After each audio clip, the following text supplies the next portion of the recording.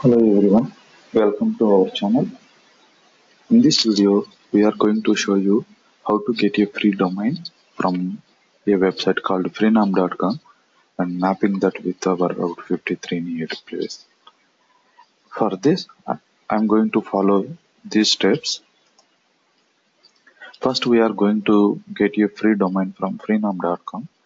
Then we provision an EC2 instance and install the HTTPD and we'll- can keep a test page so that it is going to propagate the test page in the browser.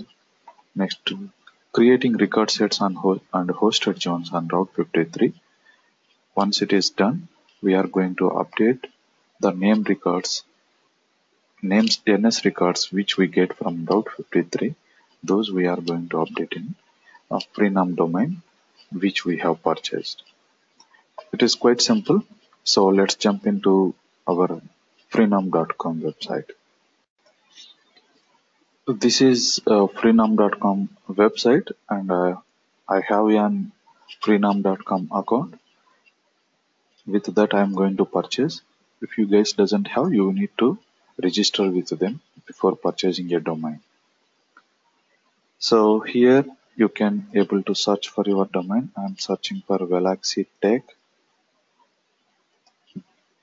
You will get a domain for free, but uh, it won't have the user-friendly extension. And you can see here it is .tk.ml. So let's go and take this one, valaxytech.tk. Once you have selected, you can check out. And it is for three months. Yeah, let it be.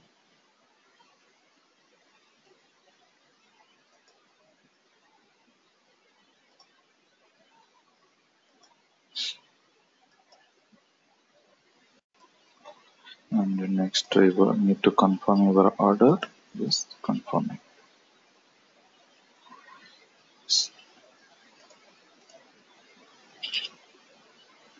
Now this domain on our name, and let's go and uh, do the second step.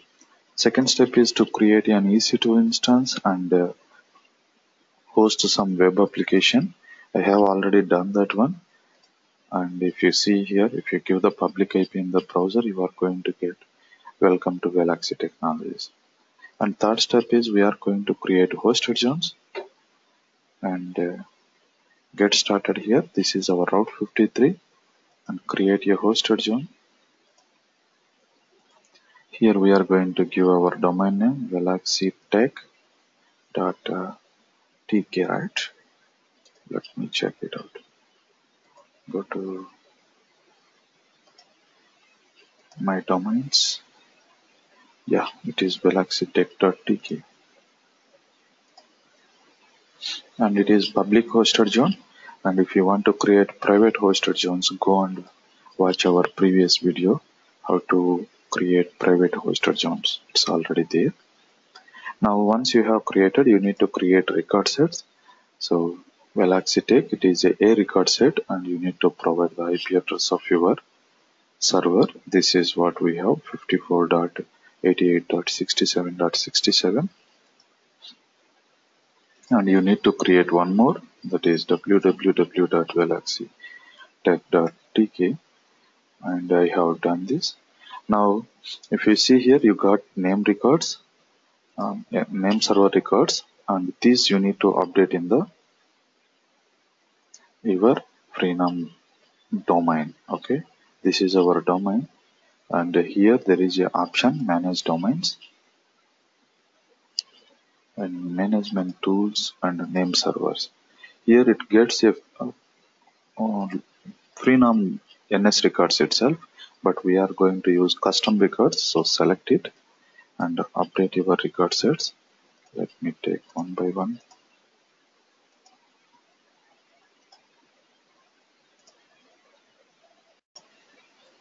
Now I have updated with the record sets whatever we got in the Valaxy Tech.tk hosted zone. Same I have updated over here and uh, change name servers. Now I have done the required steps and to propagate these changes, Amazon uh, take a while and I'm just pausing this video and we'll check after some time. We have waited uh, uh, required time and let's see